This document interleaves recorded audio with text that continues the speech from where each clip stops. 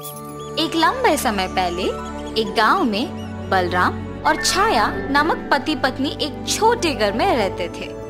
बलराम उसी गाँव में गोली सोडा बेच के उससे आए हुए पैसों से अपना परिवार चलाता था। हर रोज की तरह एक दिन बलराम सोडा बेचने निकलता है। सोडा सोडा रंग बिरंगी सोडा, एक ग्लास सिर्फ़ पाँच रुपए। आइए भाई, आइए। ऐसे सोडा को बेचता है जब उसका बचपन का दोस्त सोडा पीने इसके दुकान आता है। बलराम, क्या मैं तुम्हें याद हूँ? मैं तुम्हारा बचपन का दोस्त हूँ। अरे हाँ वरुण, कैसे हो तुम? मैं ठीक हूँ। तुम कैसे हो? मैं भी ठीक हूँ। क्या कर रहे हो तुम अब? मैंने अपने बल पर एक साड़ियों का दुकान शुरू किया है। और तुम क्या तब से ये गोली सोडा ही बेच रहे हो? हाँ वरुण, इसमें क्या दिक्कत है? दिक्कत तुम्हें अभी नहीं नज़र आएगा, बलराम। फ़िलहाल तो ये सोडा बेचना ठीक ही है, लेकिन आने वाला कल का क्या? अब सब कुछ बदल गया है, बलराम। कुछ ही दिनों में लोग सोडा खरीदना बंद कर देंगे। तब तक तुम्हें कुछ और व्यापार शुरू कर लेना चाहिए। कुछ ऐसा जो गाँव में पहले से नहीं है। नया व्यापार तो शुरू कर सकते हैं लेकिन उसके लिए निवेश के पैसे कहाँ से मिलेंगे? अरे उसमें क्या? अपने कोई जान पहचान आदमी से थोड़े पैसे उधार लो। लाभ आने के बाद उन्हें उनके पैसे लौटा दो। हो गया। हाँ ये भी ठीक लग रहा है, वरुण। ठीक है, बलराम, मैं चलता हूँ। ऐसे कह के वरुण वहाँ से चला जाता है। बलराम वो पूरा दिन अपने दोस्त के कहे बातों के बारे में सोचते रहता है। मेरे दोस्त ने जो कहा, वो ठीक ही कहा।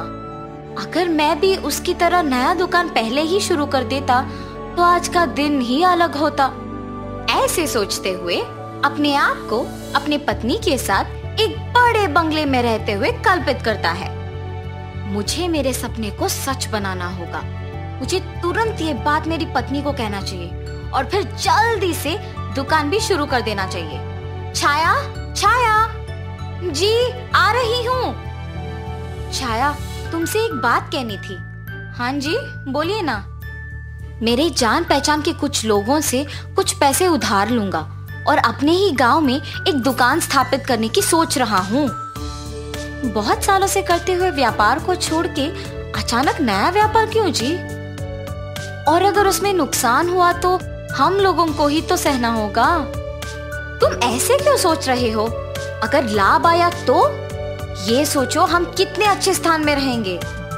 ऐसे कह के अपने एक दोस्त से निवेश के लिए कुछ पैसे ले आता है। पैसे तो ले आया हूँ। अब मुझे कौन सा व्यापार करना है? कौन सा दुकान गाँव में पहले से ही नहीं है? ऐसे सोचता है। हाँ मिठाई का दुकान नहीं है गाँव में। मेरे पास के पैसों के साथ मुझे एक मिठाई का दुकान शुरू करना चाहिए। ये फैसला करके लाए हुए सारे पैसों से एक मिठाई का दुकान शुरू करता है। उस गाँव में पहली बार एक मिठाई का दुकान शुरू करने पर सारे लोग वहाँ आके मिठाई खरीदते हैं। उससे बलराम का व्यापार अच्छा चलने लगता है।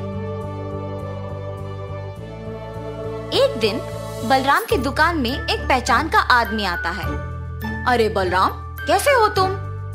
मैं ठीक हूँ, तुम कैसे हो? मैं ठीक हूँ। मुझे दो के जी लड्डू चाहिए। लेकिन अब मेरे पास पैसे नहीं हैं। कल दे दूँगा। अरे, इसमें क्या है? ज़रूर। मैं तुम्हें बहुत दिनों से जानता हूँ ना। कल दे दो पैसे मुझे। ये लो, मिठाई लेके जाओ। ऐसे ही एक दो को नहीं, बल्कि उसके पहचान के बहुत लोगों को ऐसे ही मिठाई तुरंत देके पैसे कल देने कहता था।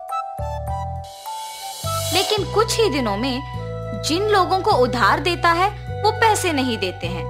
उनके घर जाके पूछने पर भी वो मना कर देते हैं। इससे बलराम के व्यापार में नुकसान आता है और दुकान को बंद करना पड़ता है। दुकान के बंद होने पर बलराम बहुत दुखी होता है। कुछ काम नहीं करता है और घर पे ही रहता है। लेकिन कुछ दिन बाद जिन लोगों से उसने व्यापार शुरू करने के लिए पैसे लिए वो उसके घर जाके पैसे मांगते हैं। इससे उसे पता नहीं चलता है कि वो क्या करे। क्यों दुखी है जी? आपके दुखी होने से कुछ नहीं बदलेगा। जो हो गया, सो हो गया। ऐसे सोचिए कि भले के लिए ही हुआ है। बाकी लोगों के बातों पे ज़्यादा ध्यान मत दीजिए और हमेशा की तरह अपना व्यापार कीजिए। ऐसे ही हम निवेश के पैसे उनको लौटा पाएँगे। मुझे अपने दोस्त की बातें बिना सोचे समझे नहीं मानना था। इसीलिए इतना नुकसान हुआ, जो मुझे अब सहना पड़ रहा है। कम से कम अब से तुमने जैसे कहा वैसे ही करूँगा। ध्यान से अपना व्यापार करूँगा। ऐसे अपने किए हुए गलती का एहसास होता है बलराम को, और वो हमेशा की तरह गोली सोडा का व्यापार करने लगता है। ऐसे सोडा बेच के पैसे जमा करके उधार के पैसे चुका देता है। तब से बलराम किसी और के बातों को नहीं सुनता था। दिन में सपने नहीं देख के अपना काम ढंग से करने लगा और खुशी से वो और उसकी पत्नी जीने लगे। तो इस कहानी का नैतिक क्या है? किसी और के जीवन को अपने से तुलना अच्छी नहीं है। उससे सिर्फ़ दुख ही मिलता है। जितना है, उतने में खुश रहना सीखो।